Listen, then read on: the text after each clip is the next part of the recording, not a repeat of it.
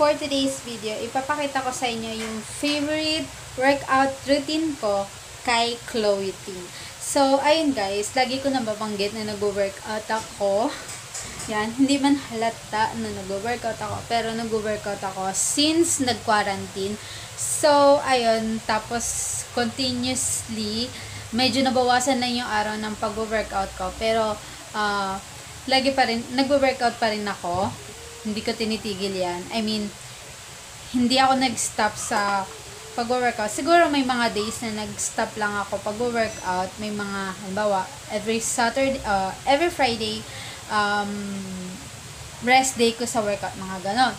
Pero, ayun guys, um, continuously, nag-workout pa rin ako at kung ano-ano ng challenges sa program ni Chloe Ting yung ginagawa ko. So, ngayon, ang ipapakita ko sa inyo guys, yung favorite workout routine ko kay uh, sa program ni Chloe Ting. So, ayun guys, tara let's na!